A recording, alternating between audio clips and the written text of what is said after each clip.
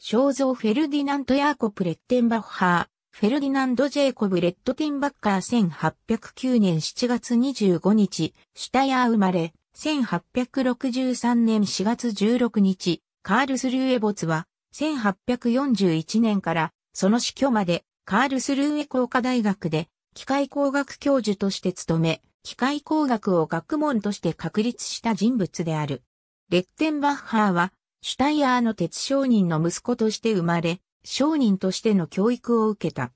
短い間、リンツのボーダークタイオンで設計技術者として働いた後、1825年から1829年までウィーンの工科大学に通った。1834年まで同大学にヨハン・アルツベルガーの助手として泊まった。1835年、チューリッヒの高等工業専門学校に数学と幾何学の教授として赴任した。1840年、カールスルーエのバーデン対抗工科大学教授のビルヘルム・ルート・ビヒ・ホルツの後継として赴任した。レッテンバッハーは、工科大学内部の再編を条件に契約を結んだ。彼は二つの学科、すなわち、科学技術科と機械技術科に大学を再編し、機械工学科の長に就任した。1841年、最終的に彼は、カールスルーエ工科大学の力学と機械学の教授となり、明快で快活な講義を通じて学生から素晴らしい評判を得た。このためカールスルーエの機械工学科にはさらに学生が集まり、1860年には359人で新記録に達した。レッテンバッハーは講義を通じて、後世、理論機械学と呼ばれることになる学問分野を創始した。宝石及び織物の分野にも取り組んでいたため、彼の講義内容には既存の機械工学が集大成されている。1857年、レッテンバッハーは工科大学全体の長となり、その後毎年選出され続けた。同時に、機械技術科の一教授としても在籍した。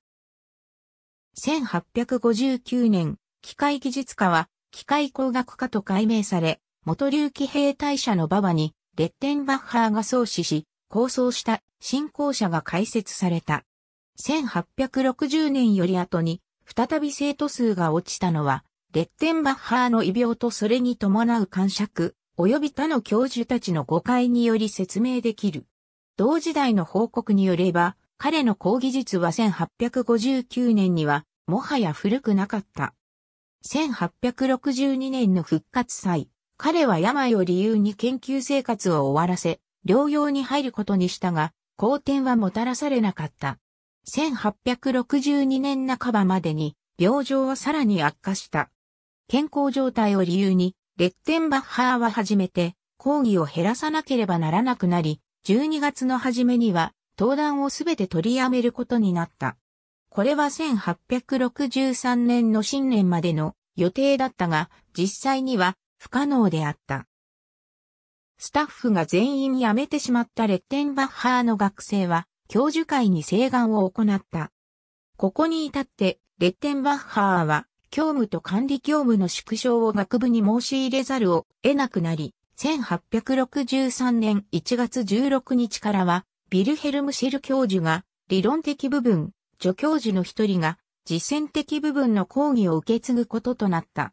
レッテンバッハーは1863年4月16日、異病のためついに死去した。その死後、彼の後継者の選定は簡単ではなかった。最終的に、モリッツ、アウグスト・ゾイベルトが、工科大学の長として指名された。レッテンバッハーはカソリック教徒であった。息子は建築家、建築士アノルドルフ・レッテンバッハーである。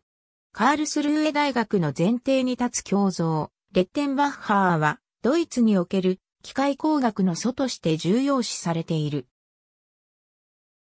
バーデンのカールスルーエ工科大学において、それまでは経験に頼った講義しかなされていなかった、この分野を数学に基づいたものへと改革した。彼の学生の中でも有名な人物として、エミール・フォン・シュコーダやフランツ・ルーローなどがいる。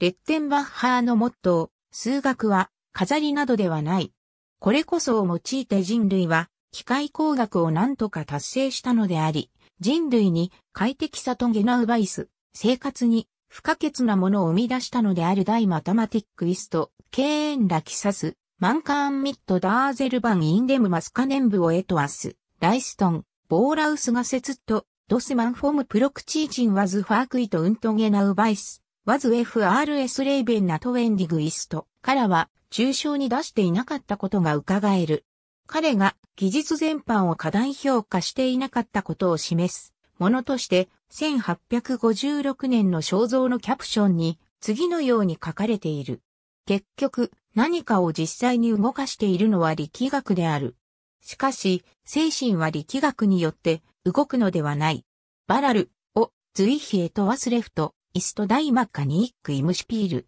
エイバーダイガイスターレゲンズイヒニヒトディーヒマッカニック、オーストリア帝国議会議員のフランツ・ビッコフにより、レッテンバッハーの生誕70周年に際して、シュタヤーの古地でレッテンバッハーの講義スタイルに関して次のような発言がされている。私は思い返すだに楽しいあの日々、レッテンバッハー教授の明快で直接ながら、機械の正確さの中に劇的な生命を乱すような講義に酔いながら、洗練された方法を学ぶことができた。イヒハベギュリフトマナーケネンジェラーンと、ダイミットベギースタングズイヒジャナータゲリナーン。を、チェンアンプロフェッサーレッドティンバカーズリッピンヒンゲン、ウンターザナムクラーンレバファンフォートレイガエンプフィンジェン、ダイマシナンウォーハフトドレアムティスチャスレーベン、1865年から1866年にかけてカール・フリードリヒ・メイストの設計になるレッテンバッハーの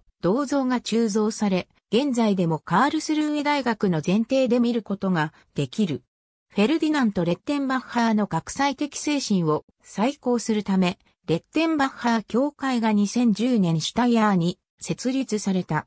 テオリーウントバウデアはサイダー、水車に関する理論と、構造ハットハインツ・シュミット、エド、ダイバース、デンクメイラー、ブルンネンウントフライプラスティコンインカールスルーエ1715、1945カールスルーエ7、P686、ISBN 3から7617-02647、不明な引数、コモンイコールは無視されます。レッドティンバッカー、ゲゼルシャフトインクター。ありがとうございます。